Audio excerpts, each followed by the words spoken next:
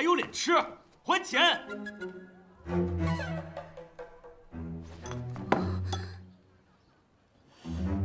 帅哥，怎么是你呀？他他这是死而复生，魂不附体了吗？他这个 说什么呢？一上来就骂人，真没素质！素质？就凭你还说素质？劣迹斑斑，毫无妇德。你不要以为自己长得帅就可以口无遮拦。哼！看完你之后，我才相信这世上果然有因果报应。你不许讨厌我！袁师伯，我白一鸣谨守先父遗命，不远千里来到长安，与令女守约成婚。但他伤风败德使我万般受辱，无颜见人。现如今别无他法，只能退婚。一鸣贤婿，你不要着急啊，咱慢慢说啊。这个婉儿刚刚缓过来，她以前可能做了一些不对的事情，你还要多担待啊。袁婉儿，自我来此，便听闻你经常暗地邀约各色俊少伶人，留恋酒肆，彻夜欢饮，品行淫靡不堪。幸亏苍天有眼，让你终得恶果。醉酒纵马后狂奔摔下，不省人事。难道这种种行径，都只是个误会？哼！不就喝几个花酒吗？你至于吗？你简直是不知廉耻！嘿，这什么？借条。啊？我还欠了你钱？哇！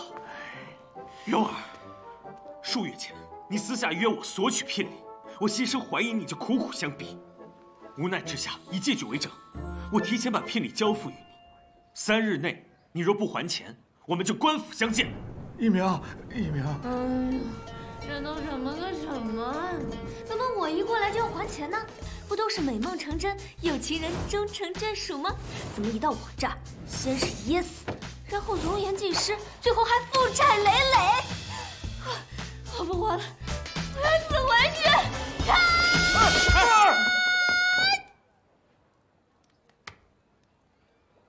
不能死在这儿，死了的话，我就回不去了。你撞啊！怎么不撞了？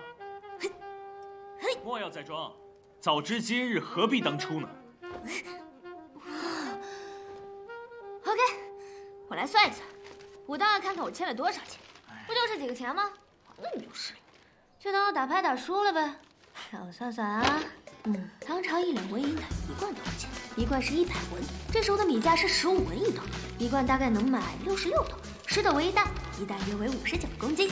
二零二零年中国米价平均两块七一斤，如此换算，一两纹银大概等于两千多人民币。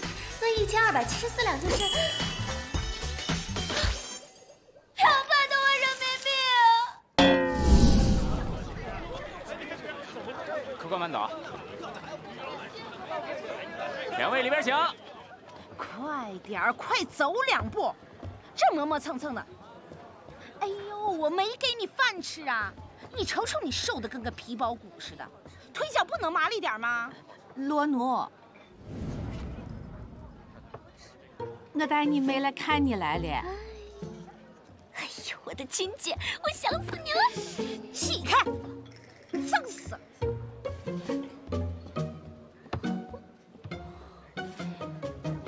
罗奴，你妹的事你也应该听说了吧？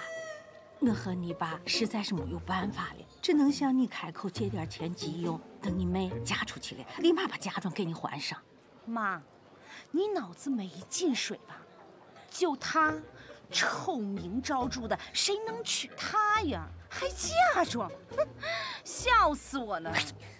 瞧不起人是不是？就你长成这样也能嫁出去，我为什么不能呀？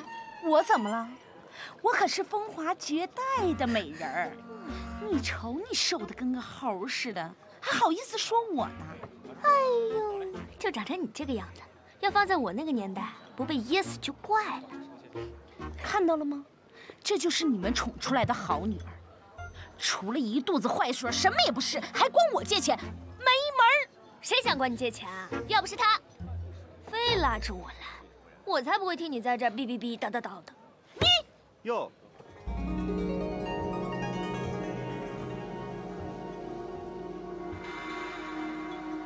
哟，妈妈和妹妹来了。我我个啥？呃，你妹有点事，呃就想来向她借借点钱花。呀，借钱呀？行吧，那进屋里喝点茶，慢慢聊吧。进什么进呢？没看都忙着呢吗？妹妹大病初愈，不知身体好一点没有？以前的事情可还记得？记得清清楚楚。谁对我做过什么呀？我明白的很。那妹妹可还能记得那日从马上跌下来的经过？你有事没事啊？忙你的去啊，少在这瞎掺和。啊，那那那你们聊着，我我先走了啊。你们还有事吗？没事回去吧。走就走，走，妈。这么大的酒楼，不也没几个人吗？还想赚钱呢？不赔钱就怪。哼，走。你说谁那没人呢？我这可是长安城有名的醉销区，不识好歹的玩意儿。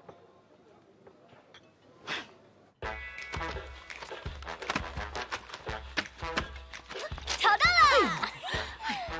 你这娃呀，一惊一乍的，哎呦，掐死我了！大唐律例，欠债二十日不还者，施刑二十；百日不还者，徒一年。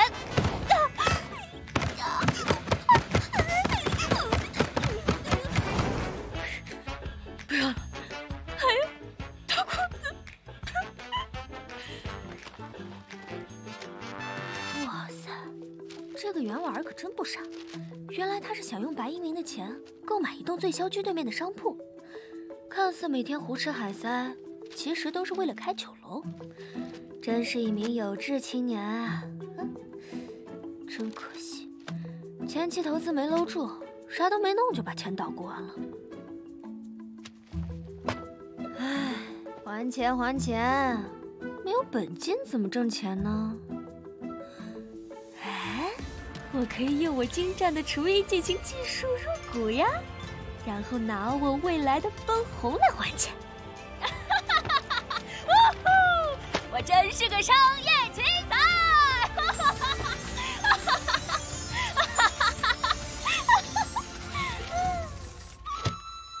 怎么，两天就把钱凑齐了？哼没钱，你死猪不怕开水烫啊！我们官府见。你你你你这是干什么？我早已与你退婚。帅哥，你也知道我脑子瓦特了，你大人有大量，以前的事情就当是我不对，你就原谅我吧。你还想骗我？